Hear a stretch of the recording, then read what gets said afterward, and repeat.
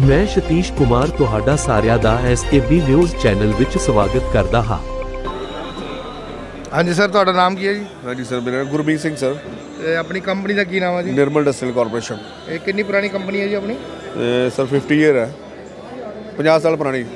ਇਹ ਮਸ਼ੀਨਾਂ ਕਿਹੜੀ ਕਿਹੜੀਆਂ ਆਪਣੇ ਕੋਲ ਜੀ? ਸਰ ਸਾਡੀਆਂ ਸਾਰੀਆਂ ਗਾਰਮੈਂਟ ਲਾਈਨ ਦੀਆਂ ਮਸ਼ੀਨਾਂ ਨੇ। ਅੱਛਾ ਜੀ। ਹਾਂ ਫਿਊਜ਼ਿੰਗ ਮਸ਼ੀਨਰੀ ਪ੍ਰਿੰਟਿੰਗ ਮਸ਼ੀਨਰੀ ਹੈ। ਕਟਿੰਗ ਵੀ ਹੈਗੀਆਂ। ਕਾਫੀ ਤਰ੍ਹਾਂ ਦੀਆਂ ਮਸ਼ੀਨਸ ਬਣਾ ਰਹੇ ਨੇ ਪਿਛਲੇ 50 ਸਾਲਾਂ ਤੋਂ। ਕੋਈ ਨਵੀਂ ਮਸ਼ੀਨ ਆਈ ਸਰ ਹਾਂਜੀ ਸਰ ਨਵੀਆਂ ਮਸ਼ੀਨਾਂ ਆਈਆਂ ਨੇ ਆਹ ਦੇਖੋ। 6 ਬੈੱਡ ਆਈ ਹੈ 4 ਬੈੱਡ ਆਈ ਹੈ। ਇਹਨਾਂ ਦੀ ਕੀਮਤ ਕੀ ਹੈ ਸਰ? ਇਹਨਾਂ ਦੀ ਕੋਈ ਕਿਸੇ ਦੀ 3 ਲੱਖ ਹੈ ਕਿਸੇ ਦੀ 2 ਲੱਖ ਹੈ। ਇਹ ਸਰਵਿਸ ਨਾਲ ਦੇ ਰਹੇ ਹੋ ਸਰ? ਬਿਲਕੁਲ ਸਰ ਬਿਲਕੁਲ। 1 ਸਾਲ ਦੀ ਗਾਰੰਟੀ ਹੈ ਸਰਵਿਸ ਫ੍ਰੀ ਹੈ। ਸਾਰੀ ਉਮਰ ਦੀ ਗਾਰੰਟੀ ਸਰ ਆਪਣੀ। ਅੱਛਾ ਹਾਂਜੀ। ਕਿੰਨੀ ਤਰ੍ਹਾਂ ਦੀ ਮਸ਼ੀਨਾਂ ਸਰ? ਸਰ ਸਾਡੇ ਕੋਲ ਗਾਰਮੈਂਟ ਯੂਨਿਟ ਦੀ ਪੂਰੀ ਰੇਂਜ ਹੈ। ਕਿਸੇ ਵੀ ਤਰ੍ਹਾਂ ਦਾ ਗਾਰਮੈਂਟ ਬਣਾਉਣਾ ਉਹਦੇ ਵਾਸਤੇ ਸਾਡੇ ਕੋਲ ਸਾਰੀਆਂ ਮਸ਼ੀਨਾਂ ਅਵੇਲੇਬਲ ਨੇ। ਹਰ ਤਰ੍ਹਾਂ ਦੀ ਕਸਟਮਾਈਜ਼ਡ ਮਸ਼ੀਨ ਅਸੀਂ ਬਣਾ ਕੇ ਦਿੰਦੇ ਆ।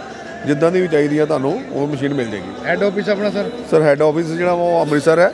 ਬ੍ਰਾਂਚ ਆਫਿਸ ਸਾਡਾ ਲੁਧਿਆਣਾ ਹੀ ਹੈ ਦਾਣਾ ਮੰਡੀ ਦਾਣਾ ਮੰਡੀ ਬਹਾਦਰਗੜ੍ਹ ਰੋਡ। ਪੂਰਾ address sir? So Dana Mandi Bahadurgarh road. Mobile number sir? 9872637737 ਲੋ ਜੀ ਮੈਂ ਸਟੀਵ ਵਾਲੀ ਐਸਕੇਬੀ ਨਿਊਜ਼ ਤੋਂ ਜੈ ਹਿੰਦ ਜੈ ਭਾਰਤ। ਕੈਮਰਾਮੈਨ ਕੁਲਦੀਪ ਸਿੰਘ ਜੀ।